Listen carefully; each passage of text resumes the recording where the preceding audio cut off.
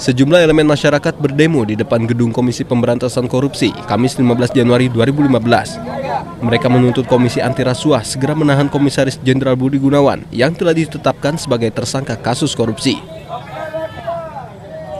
Dan ini potensial juga akan menghambat proses penegakan hukum yang dilakukan oleh KPK.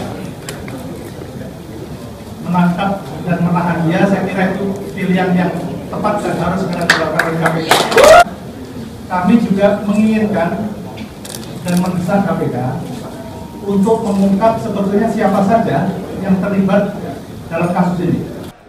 Bersamaan dengan demonstrasi ini, rapat paripurna DPR menyetujui pencalonan Budi Gunawan sebagai Kepala Kepolisian Republik Indonesia.